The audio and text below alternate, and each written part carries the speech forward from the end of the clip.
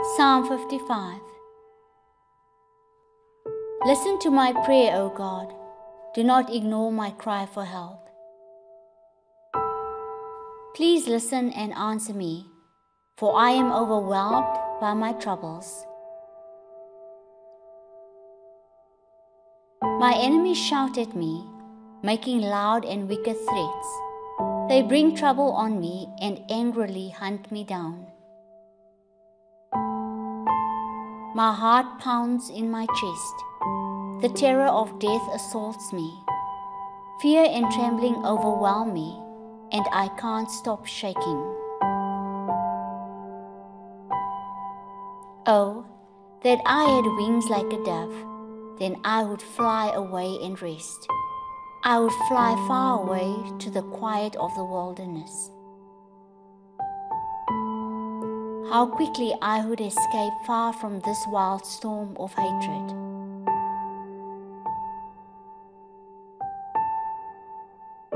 Confuse them, Lord, and frustrate their plans, for I see violence and conflict in the city. Its walls are patrolled day and night against invaders, but the real danger is wickedness within the city.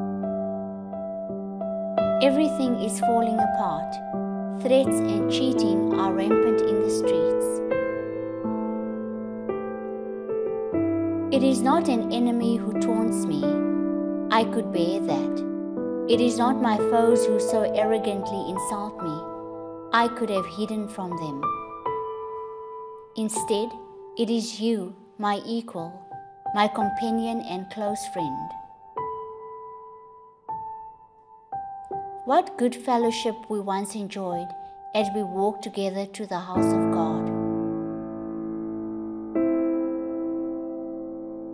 Let death stalk my enemies, let the grave swallow them alive, for evil makes its home within them.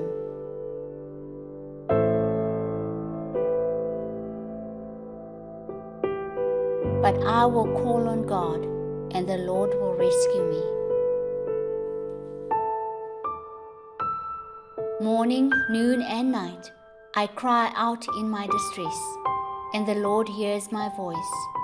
He ransoms me and keeps me safe from the battle waged against me, though many still oppose me.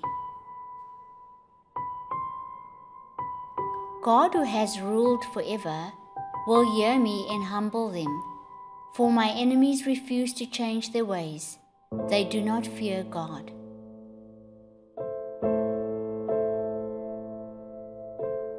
As for my companion, he betrayed his friends, he broke his promises. His words are as smooth as butter, but in his heart is war.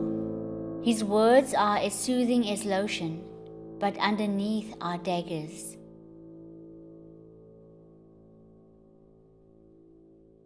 Give your burdens to the Lord, and He will take care of you. He will not permit the godly to slip and fall.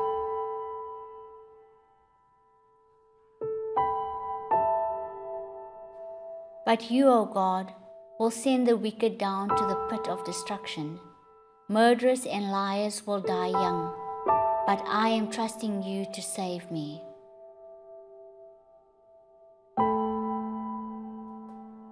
Blessed be the word of the Lord. Thank you for renewed minds and eternal life, Lord. Amen.